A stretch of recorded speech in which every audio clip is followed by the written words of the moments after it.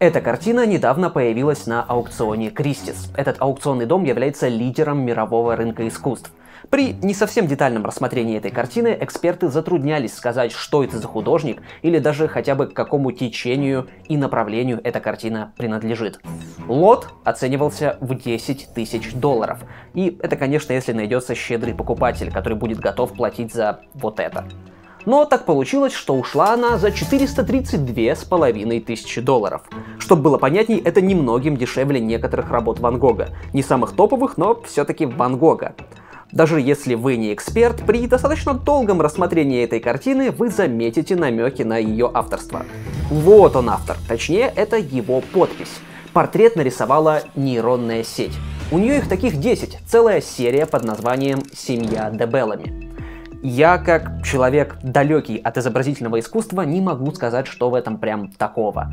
Но, насколько я понимаю, в произведениях искусства очень важен контекст. Та история, которая стоит за процессом его создания. Ну и что же мы имеем здесь? Картину нарисовала машина, единственная функция которой это переплавить уже существующее изображение в нечто как бы новое. Ей скормили набор из 15 тысяч портретов, нарисованных художниками с 14 по 20 век. Тот, кто проектировал эту нейросеть, возможно, как и я, даже солнышко нормально нарисовать не может. И вот, эта нейросеть перемолола датасет с картинками и выдала то, что и должна была. Некую смесь и обобщение опыта. То, что похоже сразу на все, что она видела. И если вы досмотрели до этого момента и не выключили видео, значит даже вас заинтересовала такая предыстория. Но если подумать, чем такая нейросеть отличается от живого художника? Художник смотрит работы мастеров, изучает предшественников, повторяет, подражает, а потом создает что-то свое, но на основе всего накопленного опыта, опыта профессионального и жизненного. Те же машины по производству картин накапливают информацию, слушают, видят, ощущают, перерабатывают в данные, опыт, знания и конвертируют в результат произведения искусства. В итоге справедливо будет задать вопрос, чем художники принципиально отличаются от машин? Можем ли мы, обыватели, понимать разницу между машинным и человеческим искусством. Или же мы незаметно идем к тому, что люди и в творчестве потеряют хоть какое-то преимущество перед роботами, и мы уже спокойно можем начинать заказывать любые произведения искусств у нейросетей. Итак, вопрос был в следующем. Чем художники принципиально отличаются от нейросетей?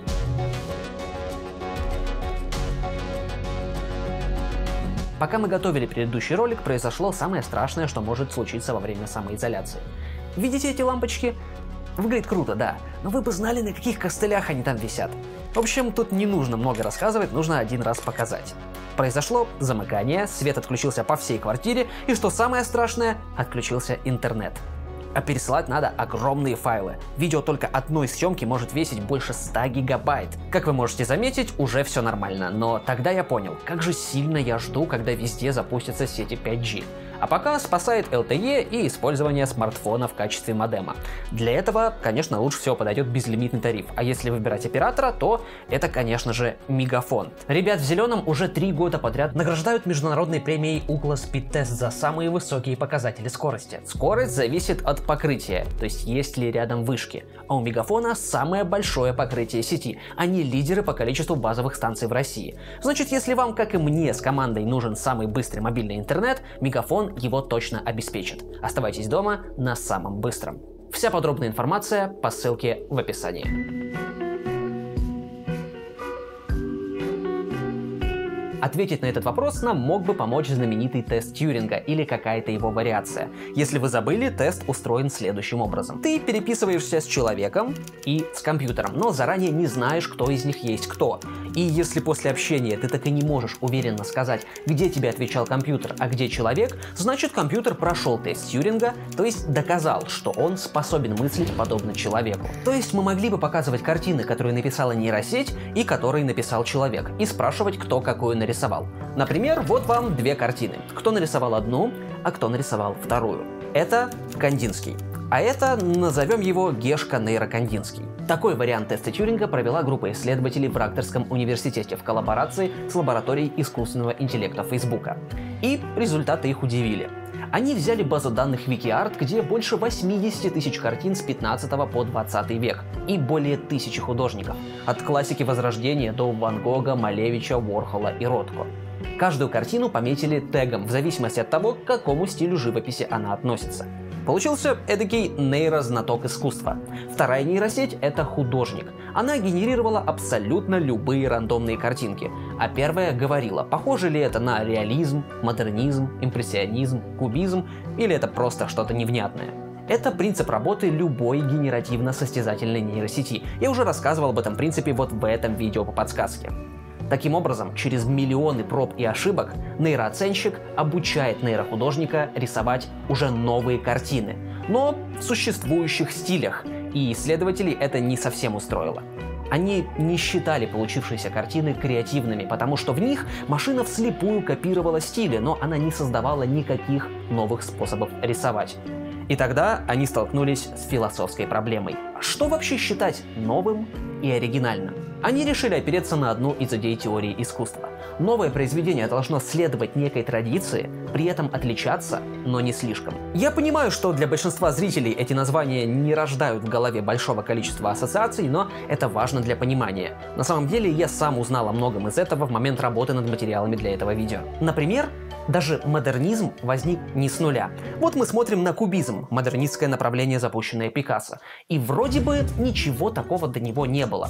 Однако историки искусства показывают, что даже он вдохновлялся африканской культурой и работами Поля Сезана. В итоге исследователи остановились на нехитрой формуле нового в искусстве. Произведение должно быть основано на традициях, при этом быть новым, но не слишком новым. Если серьезно, формула была следующая. Новизна — это степень интенсивности стимула, который испытывает наблюдатель, сопоставляя увиденное со всем своим прежним опытом. То есть для того, чтобы определить природу креативности, необходимо ввести переменную в виде зрителя. Поэтому нейросеть должна была не просто генерировать рандомные картинки в уже узнаваемых стилях, она должна вносить в них что-то новое, чтобы зритель на основе своего опыта и всего, что он видел до этого, испытал некий стимул, но не слишком новое. Исследователи решили сделать так. Они подкрутили нейросеть, чтобы она минимально соблюдала критерии существующих стилей. Например, импрессионизм, нужны пятна красок, никаких четких линий и все, дальше следующий и так далее. И в то же время она должна максимально выдавать то, что норме того или иного стиля не соответствует.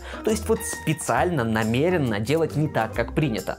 Таким образом, обычная и заурядная генеративно-состязательная нейросеть стала креативно-состязательной, которая способна создавать в полном смысле этого слова новые произведения искусства. И вот теперь уже можно было провести полноценную версию теста Тьюринга, показать добровольцам творения живых художников и картины, которые были сгенерированы нейросетью, а потом сравнить их реакцию. Они взяли произведения абстрактных экспрессионистов, а также некоторых современных художников из модной галереи в швейцарском Базеле. Это важно.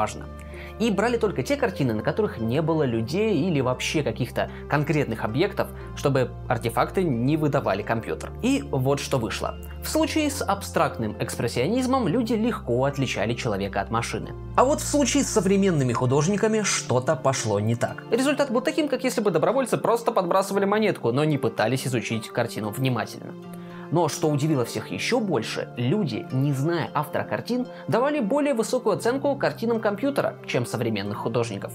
Исследователи не стали браться за объяснение этого феномена, и я тоже не берусь. Это вопрос к специалистам из когнитивистики, нейрофизиологии и социологии. Вопрос в другом. Если система успешно проходит арт-версию теста Тьюринга, нужно ли признать, что машина может творить как разумный человек-художник, не подражать, не имитировать, а по-настоящему создавать, а значит, если мы не можем отличить ее от разумного человека, можно исходить из того, что она разумна.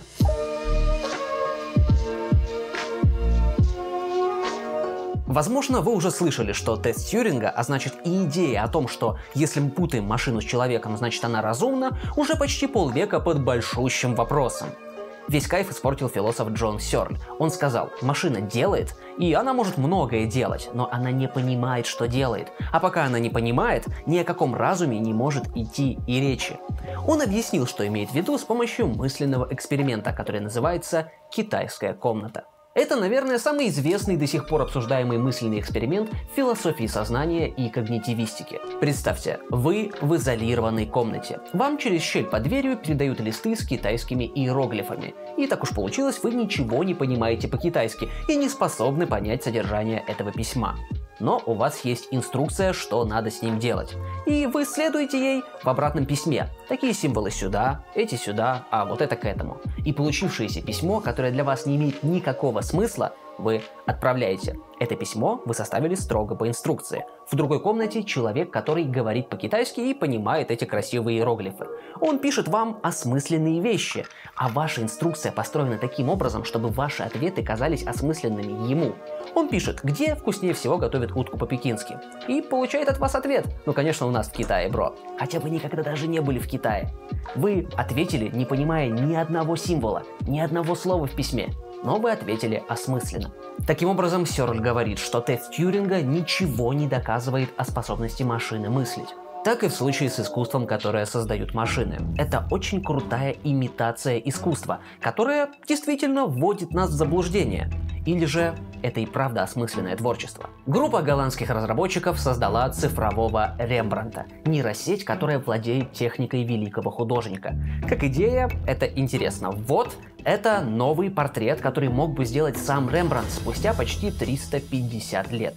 Это имитация или это настоящее произведение искусства? Ведь по сути нейросеть не залезала в голову художника, она прошлась по верхам. Только по итоговым результатам она не принимала во внимание те эмоции, которые переживал автор в процессе написания своих картин. Может ли она в таком случае сделать нечто, что мог бы создать Рембрандт, основываясь только на итогах его труда. Есть множество вопросов к тесту Тьюринга и не меньше вопросов к аргументу против него в китайской комнате. Но еще больше вопросов к идее подлинного искусства. Но пока внятных и однозначных способов ответить на такой вопрос у человечества нет. Зато у человечества остаемся мы, важнейшие перемены в той формуле креативности, зрители, читатели, слушатели, и у каждого из нас наш уровень знаний и способности видеть и воспринимать все новое определяет, что такое на самом деле творчество. Если вам понравилось это видео, обязательно отметьте это большим пальцем вверх. И не забудьте подписаться на мой инстаграм, кардинал Артур. На этом все. Всем пока.